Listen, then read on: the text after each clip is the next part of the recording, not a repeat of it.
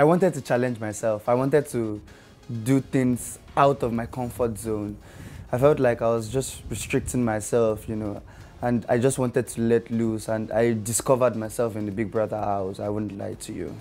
It was an amazing experience, an experience uh, you, you, you always, always relieve whenever, you, you know, you know what I mean.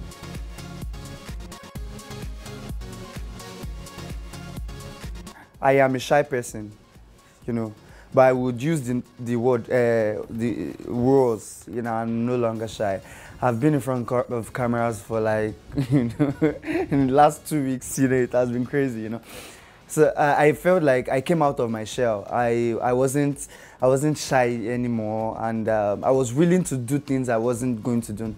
I couldn't do, perform a single dance step before I entered the house, but right now, step alomo.